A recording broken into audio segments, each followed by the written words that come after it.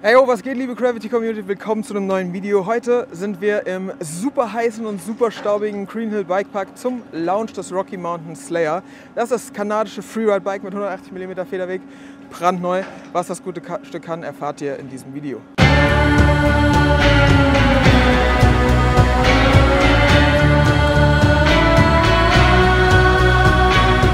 glaube, zu Rocky Mountain muss ich euch gar nicht mehr so viel sagen. Es ist eine kanadische Marke, die schon seit Jahren in der Branche bekannt ist, hat ein sehr erfolgreiches EDR Enduro Team.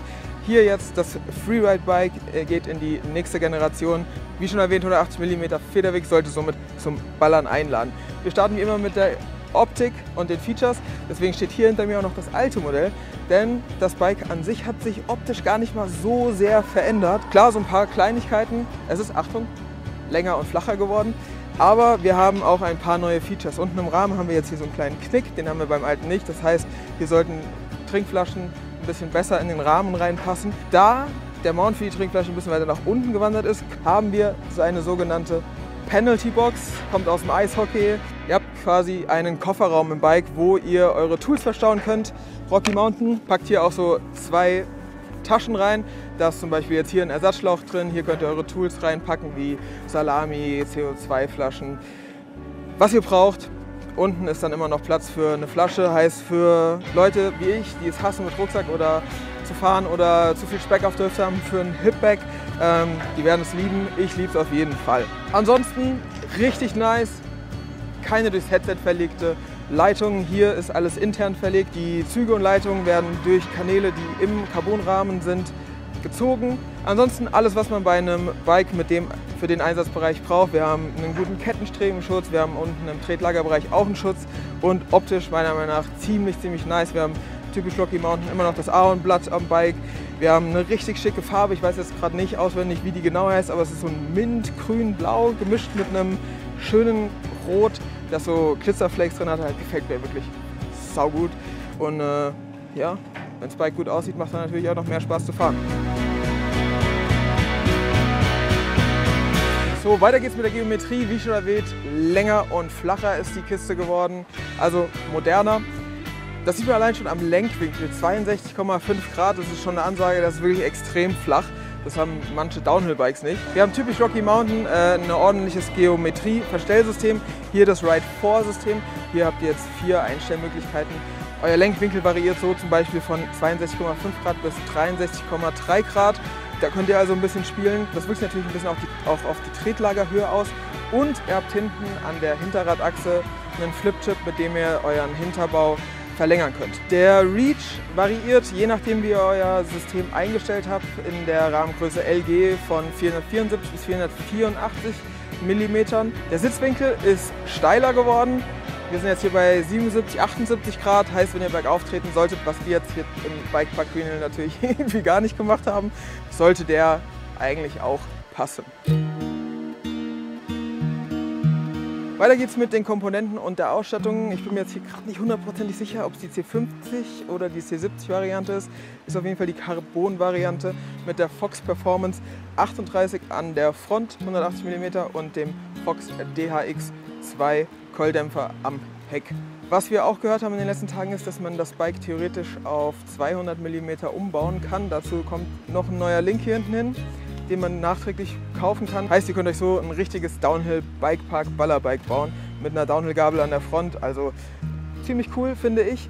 Ähm, was ich eben in der Geometrie vergessen habe, die kleinen Größen sind Mullet, heißt 27,5 am Heck, 29 an der Front. Die größeren Varianten 29. Wer, wer aber Bock hat, äh, ein bisschen wendigeres Bike zu haben, der kann sich die Kiste auch auf 27,5er umbauen. Weiter geht's mit den Bremsen. Wir haben hier SLX-Bremsen von Shimano, die funktionieren tadellos. Die haben jetzt hier im Green Hill auf die, auch auf den etwas steileren Strecken richtig gut funktioniert. Auch das Schaltwerk, das Shimano SLX-Schaltwerk, hat keine Wünsche offen gelassen. Ansonsten Rocky Mountain typisch sind noch ein paar Raceface-Komponenten verbaut, zum Beispiel die Kurbel und die Varios auf den Stütze. Bei den Reifen hat Rocky Mountain meiner Meinung nach eine richtig gute Wahl getroffen. Double Down Karkasse heißt ein bisschen Pannenschutz, ordentlich Pannenschutz. Ihr könnt draufhalten, die Reifen halten einiges aus. Und eine sehr beliebte Mischung mit dem Assegai an der Front und dem Minion DHR2 am Heck heißt, egal welche Wetterbedingungen, hiermit solltet ihr auf jeden Fall ordentlich Grip haben. Preislich startet die Alu-Variante bei 5.400 Euro. Wenn ihr das High-End-Bike haben wollt mit Fox Factory Fahrwerk, Carbonrahmen, äh, Hinterbau ist auch Carbon. Übrigens, der ist jetzt bei den Carbon-Modellen immer aus Carbon.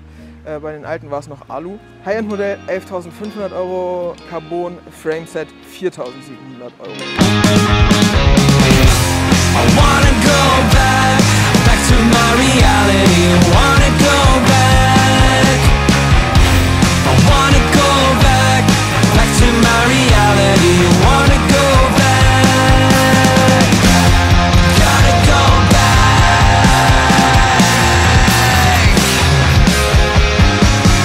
Kommen wir zum spannendsten Teil und zwar dem Fahreindruck. Wie gesagt, wir sind am Green Hill Bike Park. Hier gibt es massig Airtime. Es gibt auch ein paar wurzelige Strecken und ein bisschen steilere Sachen, die schon echt auch Laune machen. Kleines Problem, das wir bei den Bike hatten, war, dass die Feder ein Ticken zu weich für einen Teil von uns waren.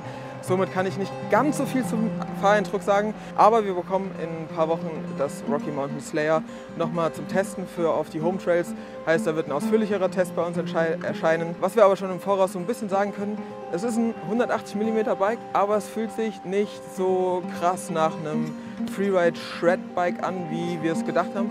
Es ist ziemlich wendig, ziemlich poppig, wie so ein bisschen so ein so ein Enduro auf Steroiden. Zum Beispiel der Eric, das ist hier der Local Shredder, den habt ihr auch in den Action-Shots gesehen. Der kam damit sehr gut klar und hatte einigen Spaß auf den Sprüngen hier. Ich habe mich ein bisschen wohler auf den Würsten gefühlt und auch da hat das Bike bisher ganz gut funktioniert. Aber wie gesagt, einen richtigen Eindruck zum Fahrrad und zur Fahrperformance können wir somit noch nicht sagen.